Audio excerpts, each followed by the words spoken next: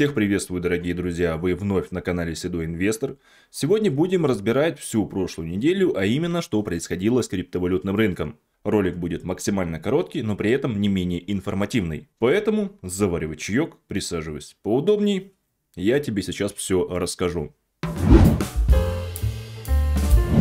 На этой неделе котировки первой криптовалюты опускались ниже отметки 26 тысяч долларов. Эксперты связали это с продажей биткоинов SpaceX Илона Маска, кризисом китайского застройщика Evergrande и распродажей крупного участника рынка. На момент написания данного ролика биткоин торгуется на уровне около 26 тысяч долларов. Не менее важный факт то, что все цифровые активы из топ-10 по капитализации завершили неделю в красной зоне. Больше всех пострадал Dogecoin минус 16% и XRP минус 14,5%. Общая совокупная капитализация криптовалютного рынка 1.1 триллионов долларов. Индекс доминирования биткоина 49%. Скажу лично от себя, друзья, я вас каждый день предупреждал о том, то, что проливы еще будут, медвежка не закончилась и всегда после каждой покупки оставляете часть свободного фиата. 10, но лучше всего 20%. Волатильность, к сожалению, в криптовалютном рынке сейчас очень маленькая, ликвидность также падает, объемов, собственно, нет, поэтому никогда не знаешь, когда начнется бычий разворот рынка. Ну и как бы если вы откроете историю биткоина, то заметите, перед халвингом биткоин всегда очень сильно падает. Поэтому, друзья мои, не лезьте на фьючи, не открывайте вы короткие сделки, не пытайтесь заработать как можно быстрее. Медвежка вам предоставляет время, которое вы можете потратить на изучение технического анализа, чтобы в будущем уже понимать, как работает краткосрочные сделки. А пока что рекомендую усредняться, оставлять всегда свободный фиат, опять же скажу, и не заходить на всю котлету единоразово. Токен SEI появился на Binance, Coinbase и Huobi. Крупнейшие биткоин-биржи, включая Binance, Coinbase и Huobi, провели листинг токена проекта SEI. Согласно токеномике проекта, объем монет в обращении составляет 1.8 миллиардов, при общей эмиссии в 10 миллиардов. Параллельно с листингом представители SEI объявили о проведении настоящего cross-chain airdrop а, но, к сожалению, в сообществе остались недовольны скромными наградами. На вознаграждение платформа выделила всего лишь 3% от общей эмиссии 300 миллионов сей. Да, на самом деле очень смешно заявлять о том, то, что у нас как бы будет airdrop. Ребят, давайте-ка участвуем. На самом деле там такие сущие копейки давали. Даже в моем открытом телеграм-канале, кстати, подпишись на него. Мы обсуждали эту тему и были заданы вопросы участникам. Сколько ребята вам предоставили токенов SEI? Я получал постоянно один ответ. До одного. И то один токен – это большая редкость. Airdrop был проведен с целью рекламы проекта и не больше. Вот были времена, когда на пресейлах, airdропах на бирже хобби мы зарабатывали по тысячи, по полторы тысячи долларов. Да, были такие моменты, но это, к сожалению, было на бычке. Опять же, почему?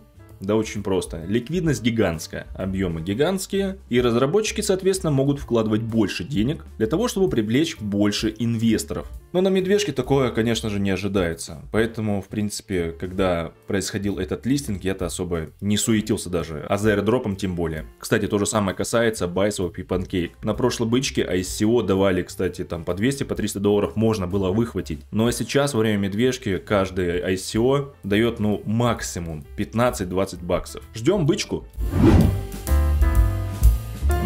В Европе запустили первый спотовый биткоин ETF. Британская компания Jacobi Assets Management запустила первый в Европе торгуемый на бирже фонд на биткоин базе. Инструмент получил листинг на Euronext Amsterdam под тикером Bitcoin. Продукт регулируется комиссией по финансовым услугам Guernsey. The Jacobi FT Wilshire Bitcoin ETF позиционируется как первый фонд цифровых активов соответствующей статье 8 SFDR, благодаря стратегии декарбонизации. В инструмент встроено решение для сертификации возобновляемых источников энергии. Оно позволяет институциональным инвесторам получить доступ к преимуществам биткоина, одновременно достигая целей ESG. Биткоин ETF – это торгуемый на бирже фонд, в который входит только биткоин, Покупая доли такого фонда, инвесторы могут зарабатывать на росте курса криптовалюты. Помните, как все ждали, когда же институционалы начнут вкладывать биткоин? Но, собственно, вот все идет к этому. И, кстати, опять же, подготовка к бычьему циклу перед халвингом биткоина. Соучредитель и глава отдела исследований Delphi Digital Кевин Келли увидел признаки раннего бычьего ралли на текущем рынке цифровых активов. По его словам, стандартный криптоцикл начинается, когда биткоин достигает исторического максимума, за которым следует просадка на 80%. Примерно через два года он восстанавливается до своего предыдущего ATH и продолжает рост до нового. Те, кто не в курсе, ATH это аббревиатура All Time High. Если еще проще, это максимум за все время.